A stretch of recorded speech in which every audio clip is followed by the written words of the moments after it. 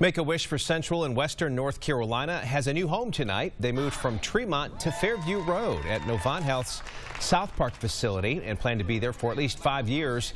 They say this will give them room to grow and make more memories for families like the one of five-year-old Zuri, who got her wish granted today to go to Disney World for Christmas.